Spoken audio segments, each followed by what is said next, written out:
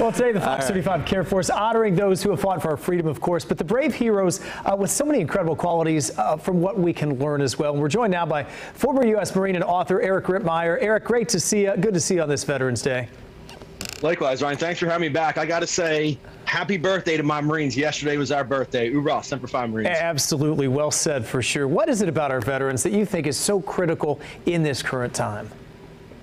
You know what you get with a veteran, Ryan. You're getting commitment, integrity, accountability, loyalty. It's this service before self mentality. You know what you get. It doesn't matter. We all bleed green. Doesn't matter what branch it was. We all raised that right hand. We all swore to defend that flag. We have that common thread. We have that fabric that brings us back. I call it like home base. When you're kids, you play tag, right? But the big oak tree is home base. In the military, we have that home base. We have a mission at hand. We love each other. We respect each other. We love that flag.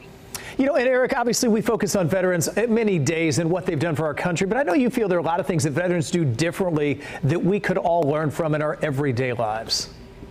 Yeah, they sure do, Ryan. I mean, there's so many skills that transfer over. And here's the crazy thing, believe it or not, just 0.4% of our population are active duty right now. 7.3% are veterans. When you have a veteran, when you bring them into your workforce and when you bring and put them out in the regular civilian society, you again, you have all these core traits you get. And I would say probably at the at the most important part of it is the unity. It's the sense of togetherness, the camaraderie. You know, we all have that. We all bleed that green, like I said. So when you bring them in, you know that you have somebody that's going to unify, going to bring people together, and it's all all about putting the mission first.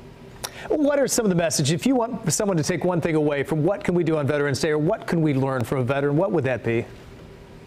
I think it's the sacrifice piece, Ryan. I think that's what everybody needs to recognize. We have a society right now that you know, if you want to find a date, swipe right. If you want to ride to the mall, swipe right. You have to remember that, you know, this this gener the generations prior, it wasn't that way. You had people that were actually falsifying their age to say they were older so they could go serve. So it's a totally different mindset. I'd say at the core of that would be just the appreciation and understanding that what we have right now isn't free. Lots of people paid the ultimate price to have the luxuries that we have. Oh boy, so true. Uh, Eric, thanks for the message this morning. Always good to see you, but especially on this Veterans Day.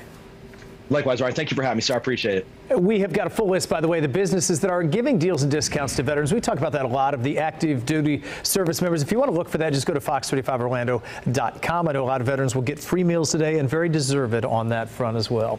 Well, coming up this morning on Good Day Orlando, our special Fox 35 Care